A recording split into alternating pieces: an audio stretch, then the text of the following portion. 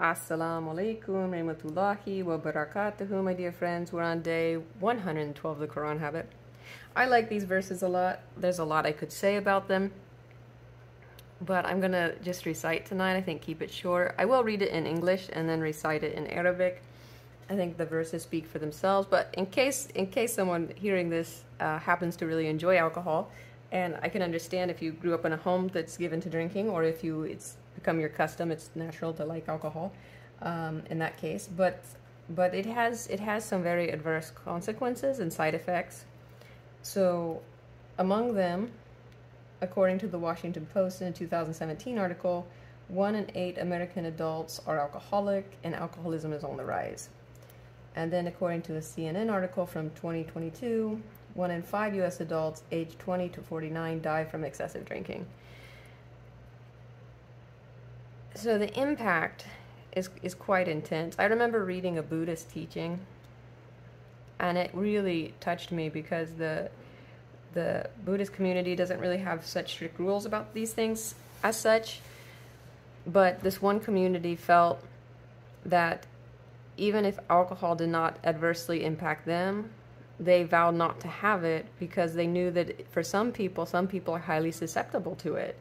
And it one drink could actually alter their entire life and that person who becomes drunk also harms or you know can hurt other people um, and make a lot of silly mistakes or just do things that they are embarrassed about after the fact so because of the harm that results often from drinking the this particular buddhist community uh, vowed not to partake of alcohol. And i always thought that was a very uh, wise and powerful thing. Because some people if you've if you've studied alcoholism at all or if you've known anyone who suffered from it it, it, it affects some of the most brilliant and beautiful and best people.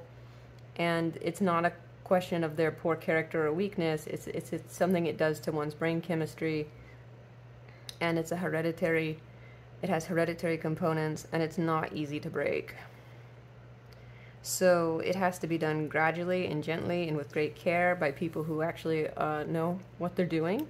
And I had the pleasure of seeing our Sufi pir, Hazrat Mulana Chaman Qadri, Allah Perfume Resting Place, um, guide someone through this. And, they, and he did it the same way that it was done at the time of the Prophet, peace be upon him, through stages. So these verses about uh, pro- prohibiting drinking, they were revealed in three parts. And it was a gradual progression that enabled enabled people to leave it. And now in most most Islamic countries and around the world and most Muslims, you will not see that they drink. Now you you can and will be shocked. Sometimes you find Muslims who drink, uh, but most Muslims do not. And um, in most Muslim countries, it's not necessarily uh, something that they want to sell or sell. So so and that I think was from the wisdom and the guidance of Allah and His Habib, sallallahu alaihi wasallam protecting us at least from this one vice. And they say it's the mother of all sins. So think about that. So it's a great it's a great vice to be protected from.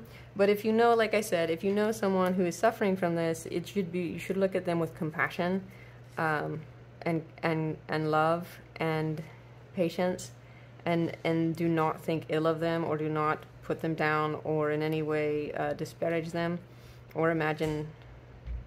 Um, imagine that they have poor character because it's not that. Uh, if we found ourselves in the same position, we may be literally in the same state, and so we need to be considerate and careful with that. I, I actually also witnessed that where I saw someone mistreat a person who was um, who dealt with this difficulty, and they the other person felt superior to them, and they behaved in the most contemptuous way with them, in an extremely unkind way, uh, in a, in a very ignorant way, and it was very pain it was painful to watch. It was painful to watch.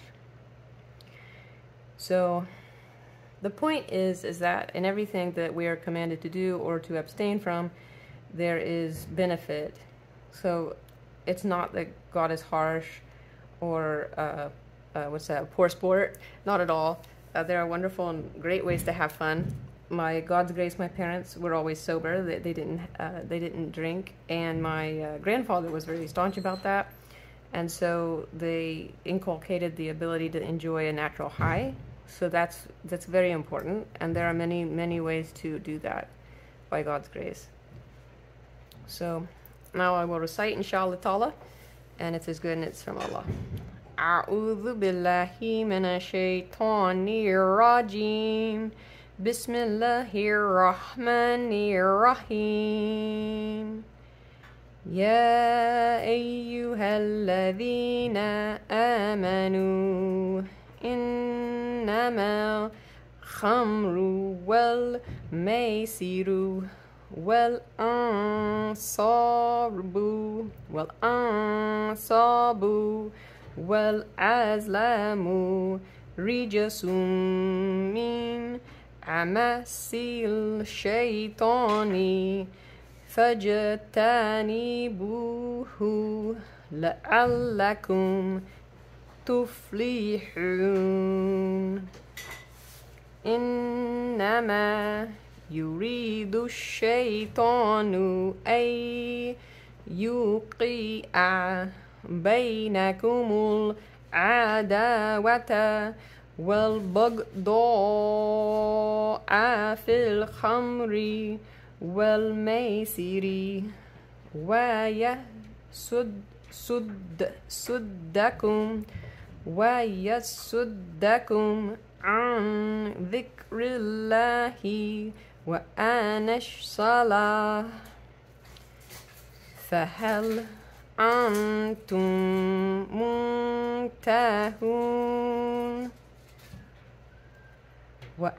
وأتيعوا الله وأتيعوا الرسول واحذروا فإن توليتم فاعلموا أنما على رسولنا البلاغ المبين